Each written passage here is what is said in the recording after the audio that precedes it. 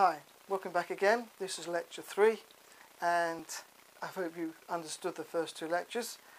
Um, you can put comments in down below and let me know um, if you're understanding it, any questions.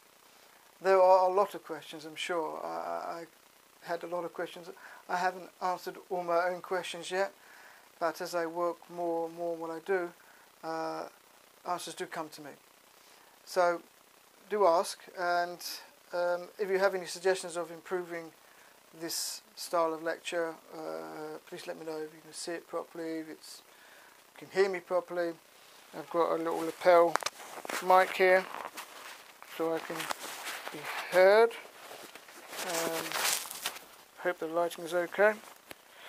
Okay, so let's um, look at lecture three. So, today we're going to look at a we're going to look at the whole value and we're going to look at um, the we're going to look at the solar leap year cycle. The solar leap year cycle has four years. Has four has three years or 365 days.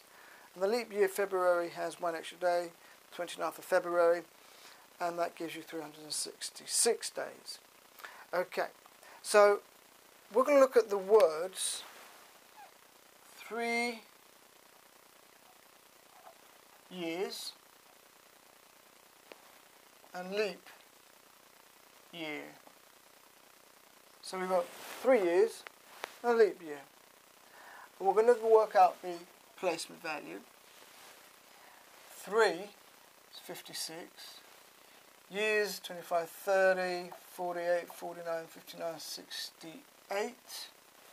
Leap is L is 12, plus 6 is 18, 28, 34.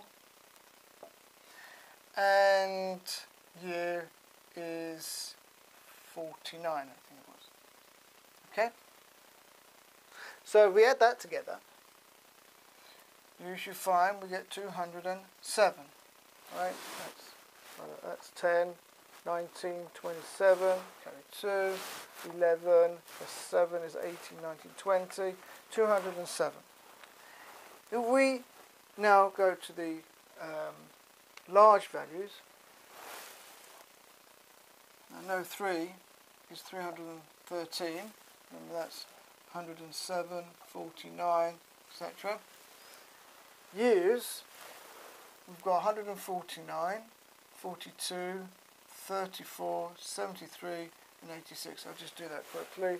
9, 11, 15, 18, 24, 4, 8, 11, 18, 26, 28, and 1 and 2 is 3. 384. Leap year is 87, 5, oops, oh, oops, not 5, that's present value, 42, 34, and 96. So I've got 10, 19 there. I've got 9, 12, 24, 25. Okay, and a year, should have done it from here, that's uh, 9, 11, 15, 16, 18, don't need the S, 4, 8, 11, 18, that's the 18 before, so it would be 19, and 1, and 1 2. 228, 298. So we add those together. We get 7, 16, 24. We get 9, 14, 23, 24, 25. 3, 6, 7, 8, 9, 10, 11, 12. We've got that right. Now, we're going to add those together to give us the whole value. 4 and 7 is 11. 5, 0 is 5, plus 1 is 6. 4, uh, 2 and 2 is 4. And 1. So we get 1,461. That is the whole value. You, as I said before, you should see my videos in order. If you haven't seen lectures 1 and 2, please do that before you look at this one. You won't quite understand what's going on. Um, so we've got the placement values, the large values, we've added them together, give the whole value. So we've got the three years, we've got a leap year. Let's see how many days there are. We have 365 plus 365 plus 365, that's your, for your three years, plus 366. What does that make? 5 and 5 is 10, 15, 21, carry 2. 6, 6 and 6 and 6 is 4, 6, 24, plus 2 is 26. And now we've got 1, 2, 3, 4, 3 is 12, plus 2 is 14. So we see that the whole value of three years leap year give you exactly the number of days in those four years. Another interesting thing is the word leap, because the leap year requires there to be one day that's added to the whole lot. So if you take leap is 34 and 1 is 34. So leap is connected to the word 1. So this is another way of using the gematria. This is not the classical way of using gematria. This is something much more different than what we would find in Hebrew gematria. Um, but this is showing that there's something very special at the moment in the English language. I'm just going to go back to a few things with um, placement values.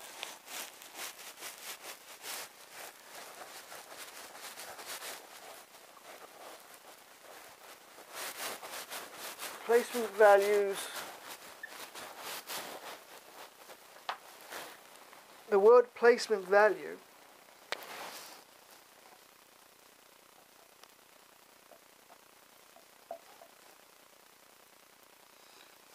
depends on the alphabetical order.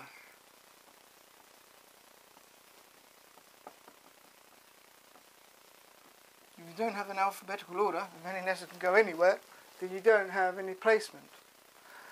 What does this equal? 16, 12, 1, 3, 5, 13. If you add it all together, you'll get 150. And if you do the same for alphabetical order, you'll get 150 quite interesting. Let me show you one other idea and we'll finish there. The letters of the alphabet. There's 26. So if I was to add them all together, all the way down to Z, and I sums it all up, I will get 351. Okay? 351. This is actually the large value of the word sacred. Sacred is 351 in large values. But it also equals the following expression.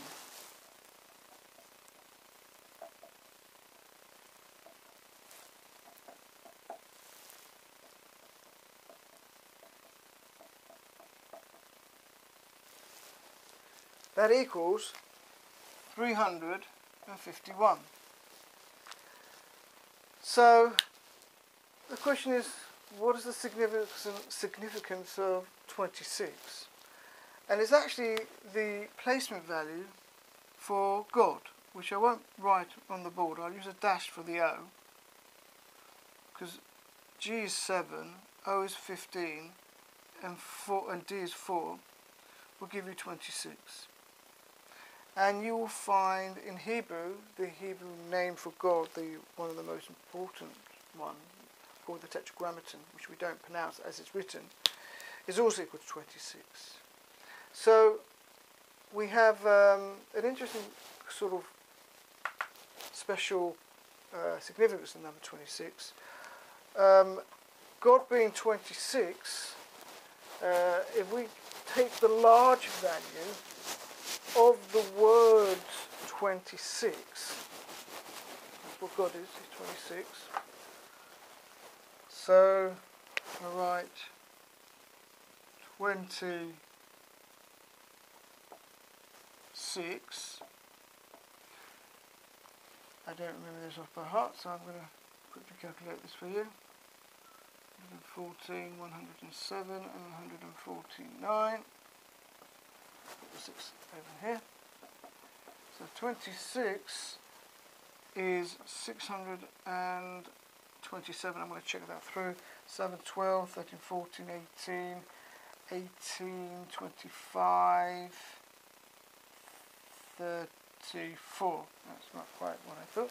So again, 7, that's a 3. It's 163, 42, 104. Okay, 10, 11, 12, 16, 23, 32. It's the other way around. And the word 6 is 295, that I do remember. And if I add those together, I'll get 7, 6, 9. The Supreme God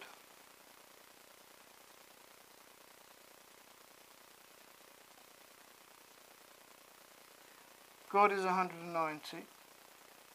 This is 86, 141, 96, 73, 42, 99 and 42. Add that together It was 7, 27, 13, 16, 17, 18, 27, 28, 29. 8, 12, 21, 28, 32, 41, 45, 46, 47, and 1, 4, 5. And then I've got the. The is 198. That comes so often that I know the one off by heart. So now I add it together. I get 8 plus 9 plus 0 is 7. I get 9 plus 7 is 16 plus, did that wrong, again, 8 plus 9 is 17, I forgot the 1, that's what I did.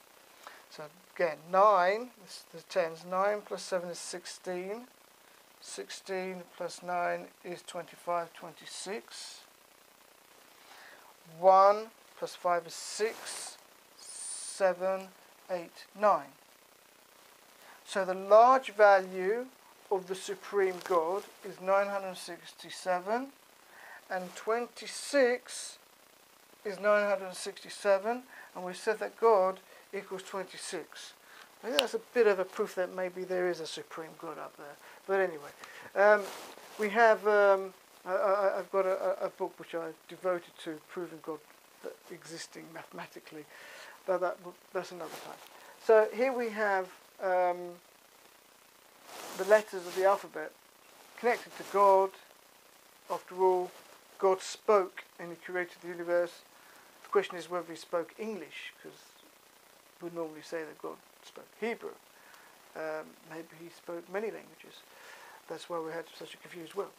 But um, we, we, we can see that there is something special here, though, in the English language and we'll see in the Hebrew language as well some very interesting things at another time. So thank you very much for listening again. This is the third lecture. Uh, more to come, and I hope you're enjoying them. Please give me a like, please share, and do uh, comment below. Let me know your thoughts. Thank you very much.